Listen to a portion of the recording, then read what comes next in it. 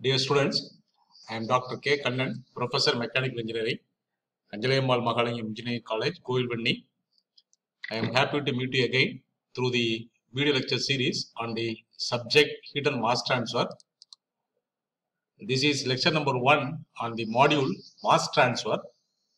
Uh, the topic for today's discussions are mole fraction, diffusion velocity, molar flux, Fick's law of diffusion, and diffusion in gases. So we'll be defining the basic concepts, basic parameters of mass transfer in this lecture. Uh, we recap from the third semester. We studied the properties of gaseous mixture and the uh, gas universal gas constant, Dalton's law of partial pressure, partial pressure of uh, gas constituent in the mixer, and various properties of the gas constituent or the gaseous mixer we studied in third semester. Uh, we'll be using the concepts here uh, for mass transfer. And uh, the outcome for the today's lecture, at the end of the lecture, the student will be able to define what is Fick's law of diffusion. That is very important topic. And mass transfer, the basic definition for the mass transfer. The process of transfer of constituents of mixer from high concentration area to low concentration area is known as mass transfer. So we are dealing with the mixer of the gases. When you when you talk about the mixer of the gases, there are different gas constituents in the uh, gas mixer. Uh, for example, you take the exhaust gas from any combustion chamber, any power plant or automobile. The exhaust gas contains the main constituents CO2, carbon dioxide and water vapor and nitrogen. So these are the main constituents of the gaseous mixer. So the process of constituents of the mixer, transfer of constituents of the mixer from high concentration area to low concentration area is known as mass transfer. So the gas constituents, they are moving from one place to another place due to the concentration difference. So they move from high concentration area to low concentration area. So the movement of gas constituents from high concentration area to low concentration area is known as mass transfer. We take the first example. We take a beaker of water.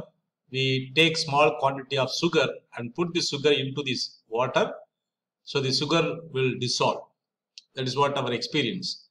So the sugar molecules, they disperse, they move inside the water. As the time increases, the slowly the concentration. So here, you look at here, here the concentration of the molecules are more and the molecules started, starts to move from uh, base to the towards the top. And this is the second level. So the molecules are moving and here you find more uh, evenly distributed gas mo sugar molecules inside the water. This is the uh, mass transfer. So the there are two constants. One is water molecule, another one is sugar molecule. The sugar molecules are moving inside the water molecule. So the because of the concentration difference. So the here you look at here, here you have more concentration of the sugar at the beginning. So here there is no there is no sugar molecule. So the sugar molecules are moving and it occupies and evenly distributed inside the water. There is another situation. You take a tall chimney from the top of the chimney, the smoke is moving to the atmosphere with a certain velocity. So the smoke smoke is moving with the velocity. So the smoke moves in into the atmosphere and after some time they disperse into the atmosphere. So these two are the two modes of mass transfer. Uh, one is called as diffusion mass transfer. Another one is called as convection mass transfer. So the this is first one is called as diffusion mass transfer and second one is called as convection mass transfer. And the the driving force for the mass transfer is concentration gradient. So concentration gradient is the driving force for the mass transfer and in the case of heat transfer uh, temperature difference temperature gradient is the driving force. In the case of uh, electrical current flow voltage difference is the uh, driving force. So the driving force for the mass transfer is the concentration gradient. So the molecules or the gas constituents uh, they are um, they, they are moving from high concentration area to the low concentration area.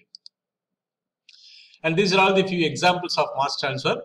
Dissolution of salt or sugar in water, smoke moving from your tall chimney into atmosphere, humidification, dehumidification process in the air conditioning, drying of the cloth in the open atmosphere, evaporation and condensation process. So we have many more examples for the mass transfer. These are all the yes, this is this is what a small list of mass transfer examples. And we discussed various definitions. First, mass concentration. So mass concentration rho A of the component A is defined as the mass of A per unit volume of the mixture. So it is very simple. It is density actually. Density of the A equal to mass of the A divided by the total volume of the mixture. And the molar concentration. So the molar concentration uh, it is given by A. Molar concentration of the constituent A is defined as the number of moles of A per unit volume of the mixture. So Ca molar concentration of A component A or constituent A equal to number of moles of A divided by the volume. So from the previous definition you can write this is also rho A by MA. Rho A is the the mass concentration divided by the MA is the molecular weight of the uh, the uh, molecular weight of the component A. And the mass fraction so MA equal to rho A by rho. So the mass of the mass fraction of defined as the ratio of mass concentration of the component A to the mass or density of the mixer. So density of the component A divided by total density of the mixer is called as mass fraction of the uh, component A. And uh, next definition is mole fraction. So mole fraction is defined as the ratio of number of moles of component A to the total number of moles. So number of moles of A divided by total number of moles is the uh, mole fraction. So Ya equal to Ca by C. So Ca is the uh, concentration of gradient A, uh, constituent A and C is the concentration of the mixer, gas mixer. And these equations are hold good for the uh, two component system. The mass concentration density equal to rho A plus rho B, uh, C concentration equal to Ca plus Cb, 1 equal to Ma plus Mb, mass of A, mass of A component A plus mass of B equal to 1 and the mole fraction of component A plus mole fraction of component B equal to 1. And we have the perfect gas equation. Uh, perfect gas equation for a gaseous mixer we can write for the component A. Uh, we know PV equal to N RO into T, where RO is the universal gas constant. We write the equation for a particular component of the gaseous mixer. So PA is the partial pressure of A, V is the volume, and NA into RO into T Na is the number of moles of A, RO is the universal gas constant. So for the mixer, volume and temperature they are constant, RO is the universal gas constant and the two variables are partial pressure of A and number of moles of A. And the molar concentration Ca is given by Na by V. So we substitute Na from this equation, previous equation. So this leads to Pa by Ro into T. So the concentration A is given by Pa by Ro into T. Similarly, the mole fraction of the component A is given by Ca by C. You substitute for Ca from the previous equation. So Ya equal to Ca by C equal to Pa by P. So the mole fraction equal to partial pressure of the component A divided by the total pressure of the gaseous mixture. And the molar average velocity. So the molar average velocity of the mixer in the x direction is defined as 1 by u equal to 1 by c into UACA plus UBCB, where UA, UB are the statistical mean velocity of the component A and B. So UA we defined already. UA is the velocity, CA is already defined, molar concentration, CB is molar concentration of B. UA is the mean velocity of the component A and B, and C is the total concentration of the gaseous mixer. And diffusion velocity. Diffusion velocity of the component A and B with respect to molar average velocity is defined as diffusion velocity equal to A equal to UA minus B, UA minus U, and diffusion velocity of B component B equal to uh, UB minus U. So diffusion velocity indicates the motion of the component relative to the local average motion of the mixer. So this is what the, the meaning of the diffusion velocity. So the listen listen carefully here. The mixer is moving. So the mixer is moving in the uh, in the x direction.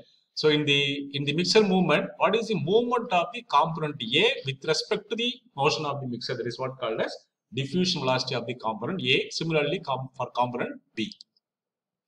And the molar fluxes.